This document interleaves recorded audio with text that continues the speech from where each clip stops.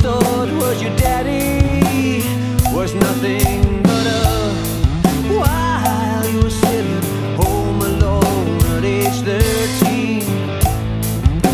Your real daddy was a dying.